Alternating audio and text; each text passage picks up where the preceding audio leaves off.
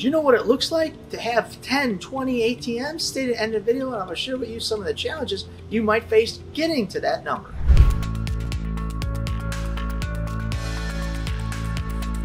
Hi, I'm Phil from the ATM Mastermind Group page, and we help hundreds of aspiring ATM business owners go from zero ATMs to ATM Business Pro in as little as 30 days.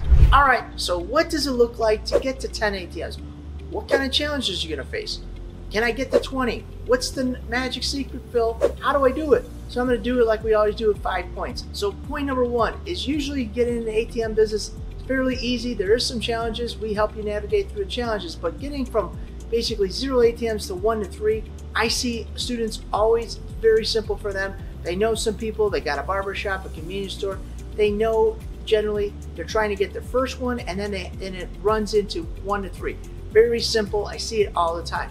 So point number one, one to three ATMs, very simple to do and easy. Hi, this is Phil from PDQ Merchant Enterprises, and we're here to just let you guys know that we sell ATMs. We also provide repairs on ATM dispensers, and we sell keypads just like this one and this one. This is an 8000R keypad, and this one is a 6000 keypad. We also repair these and do advanced replacements. So for $175, you give us your old keypad, which is like this one, and we'll give you a refurbished one so you can put it in your 1800, your 1500s, your 1800 SEs, and some of the Halo ones will also use this one. And with this special, we're also going to offer $50 off for any new ATM sales just mention the promo code 2023 and we'll take an additional $50 off our regular price of the ATM. Point number two, basically two to 10, that becomes a challenge because what you have to do is you have to set up what I consider is a network or you have to figure out either set up a network or you're gonna be banging on doors to get to the magic 10. Now, what does that mean? Well, I see a lot of students, they're, they're grinding, they're knocking on a lot of doors, some started cold calling. They do this in anticipation to get to the elusive 10. But the challenge is, is they're running into brick walls. And so they come to me and they said, Phil, I, you know, I got my first three, I'm killing it, but how do I get up? What do I need to do?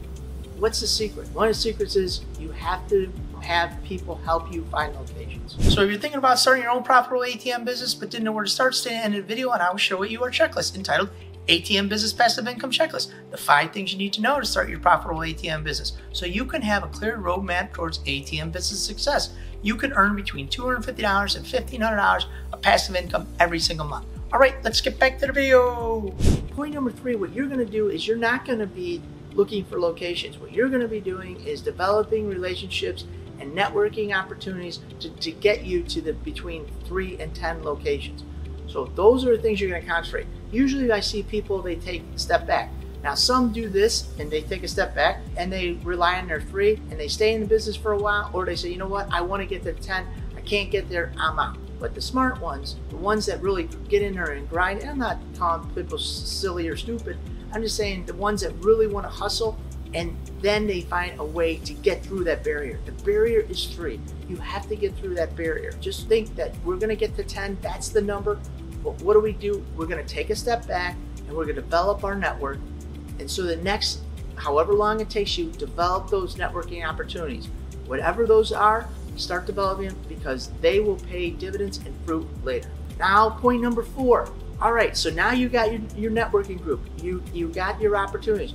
You got your people who are finding your locations. Now what happens is this is the next challenge you're going to face is these locations are going to start coming in. People are going to start calling and say, hey, I got a location over here. I got this convenience store. I got this laundromat. Hey, I, I was over here and I saw there's an opportunity for you, Phil. And you're like, great.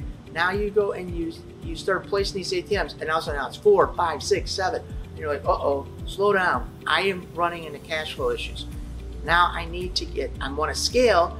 I have the locations coming in. That was a barrier. And now my barrier is cash flow. What do I do?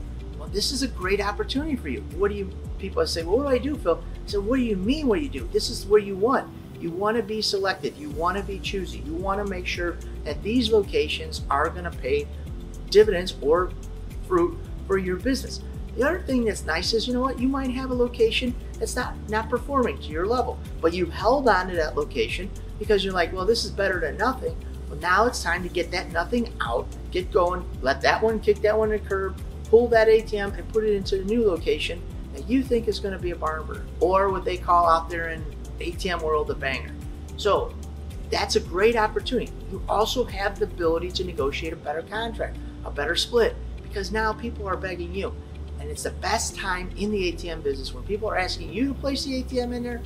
Now it's a good time to negotiate better deals and make yourself more profitable. And point number five is okay, now you got your system and networking, they're starting to call you. Now you got you're making more money because you're making better splits, better better deals, and now your cash flow is you're starting to eliminate that cash flow.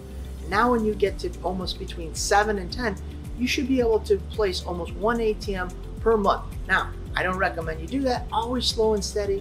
You know what? Take some time. I would say place it maybe every three months because now you're building that cash flow up. You're doing the business the right way. Don't grow too fast. I've seen so many people grow too fast and then they're out of cash and they, they're not generating enough of revenue because a lot of times we're doing this to make a side business, side hustle, make some extra money. And then what happens is they start using that money for their everyday life, and that's what you're supposed to do. But always put some to grow the business. Now that you've mastered how to get more locations, you've mastered your cash flow, this business is going to be a great business for you and your family, and it's going to be a game changer. All right, so if you're thinking about starting your own ATM business, I want to invite you to our free checklist entitled ATM Business Passive Income Checklist the five things you need to know to start your profitable ATM business so you can start earning passive income, make more money for your family, and spend more time with them also.